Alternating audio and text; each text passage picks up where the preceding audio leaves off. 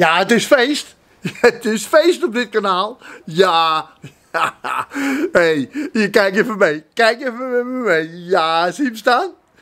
Oh, 30.000 volgers. Ja, ja, ja. En vooral de laatste tijd.